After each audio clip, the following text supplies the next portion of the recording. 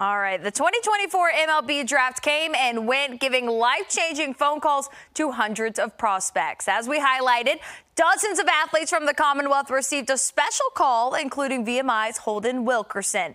The Cave Spring grad and right-handed pitcher was taken by the Toronto Blue Jays in the 18th round. In 2023, he appeared in 11 games for the Keydets that included eight starts. Wilkerson tallied four starts this year before a season-ending injury, a blood clot to a vein in his throwing shoulder. But he has since been fully cleared and recovered and says he's got the call from the Blue Jays while working out at the place he's been training at since 11 years old, the Lab Sports Performance Center.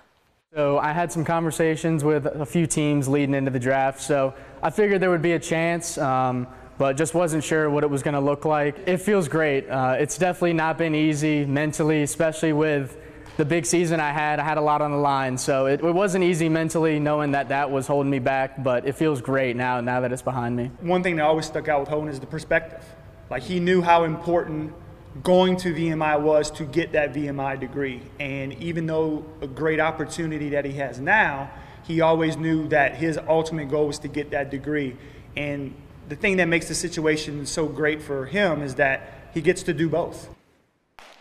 Wilkerson flew down to Dunedin, Florida on Friday. He plans to sign his pro contract, but will return to VMI for the fall to finish his degree. He was an all district and all region three year letterman during his time at Cave Spring. Pretty impressive. Yeah.